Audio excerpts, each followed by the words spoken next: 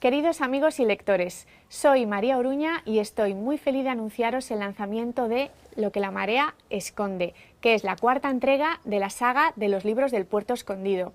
Se trata de un misterio autoconclusivo que supondrá un desafío de ingenio porque tendréis que resolver uno de esos típicos misterios antiguos de habitación cerrada, en este caso un camarote en una goleta.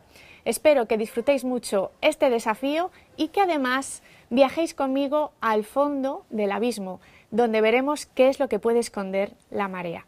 Un abrazo.